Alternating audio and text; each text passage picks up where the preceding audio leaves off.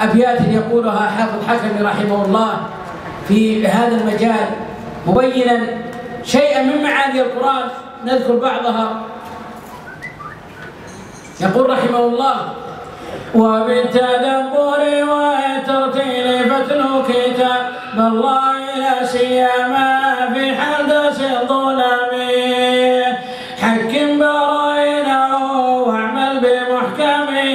حلا وحضرا وما قد حده واقم وأطلب معانيه بالنقل الصحيح ولا تأخذ برأيك واحذر بطش منتقم. وعمنايك يا صاحب زجرا والأمر